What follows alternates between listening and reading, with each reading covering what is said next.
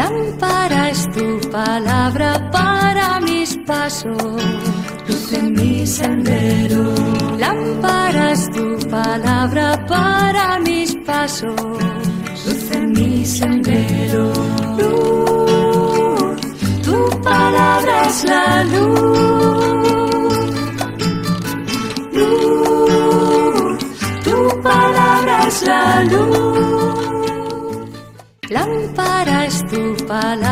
Para mis pasos, mi sendero. Muy buenos días, los saludamos a todos ustedes en este espacio La Biblia, Palabra Vida. Le damos la bienvenida, les habla el Padre Raúl Alonso Rojas Vargas aquí desde la parroquia San José. El día de hoy quiero hablarles sobre el Evangelio de Lucas en el capítulo 24, versículos 35 al 48 eh, que correspondía al domingo anterior. En este Evangelio nos habla que Jesús se aparece en medio de los discípulos que estaban escondidos por miedo a los judíos porque habían crucificado a Jesús, estaban escondidos con un miedo terrible. Y tiene tres momentos especiales que quiero que nosotros los veamos. Un momento se llama el realismo. El realismo es la aparición de Jesús, es una aparición real.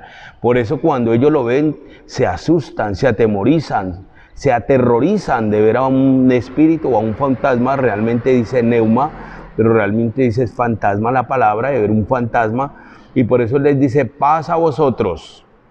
Claro, ellos quedan atónitos, asustados y les dice, vengan, tóquenme, a ver si un espíritu tiene huesos o tiene carne como yo, vengan, tóquenme. Y enseguida les muestra los signos de los clavos en las manos y en los pies. Recuerden que en la aparición en el capítulo 20 de Juan, eh, allí aparece Jesús en medio de ellos, les dice, pasa a vosotros, y les muestra eh, los clavos, el signo de los clavos y el costado. Aquí Lucas nos muestra los clavos de la, eh, la herida de los clavos en las manos y la herida de los clavos en los pies.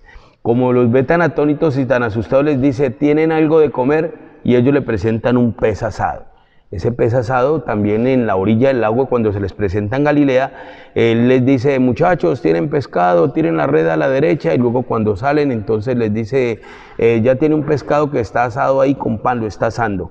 Entonces el día de hoy nos muestra un realismo.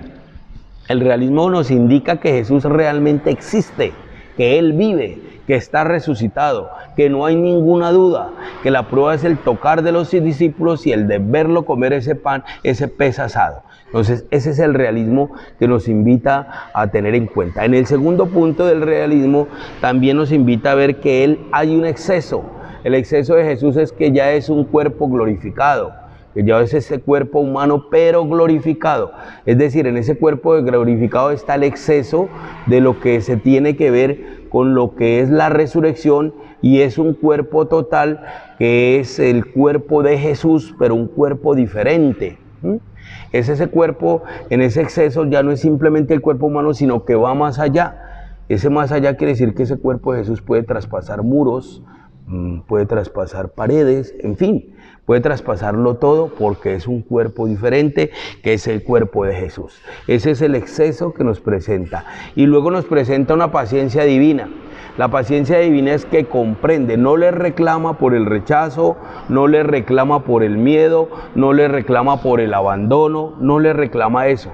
No le reclama por la duda, no le reclama por la falta de fe, no hay un reclamo. Es una paciencia infinita y divina la que le tiene a sus apóstoles porque sabe, conoce la tristeza, el dolor, conoce la incertidumbre por lo que pasan y en esa comprensión hay un perdón y una invitación a creer y a convertirse y a anunciar esa buena nueva de la salvación a todos los pueblos. Eso es lo que hace. La misma paciencia divina que tiene con sus apóstoles, la tiene el Señor con nosotros, para que nosotros busquemos, la, la, busquemos nosotros la conversión de nuestros pecados y para que nosotros lo busquemos a Él. Realmente eso es lo que nos invita el Señor, a abrirnos el entendimiento para que descubramos que lo que dijeron los profetas acerca del Mesías se ha cumplido el Mesías que tenía que venir ha cumplido. Entonces, eso es lo que nos invita el Señor a descubrir ese realismo, a descubrir ese exceso y a descubrir la paciencia infinita, porque Dios nos ama, no se perdona y nos invita a que descubramos, entendamos y busquemos la fe. Que el Señor nos dé la alegría de buscarlo a Él con un sincero corazón, que nos dé la capacidad para amarlo intensamente y descubrirlo vivo y resucitado en medio de nosotros. Feliz día para todos ustedes, que Dios les bendiga, feliz semana. Lámpara es tu palabra para mis pasos, luz en mi sendero. Lámpara es tu palabra para mis pasos, luz en mi sendero. Luz, tu palabra es la luz.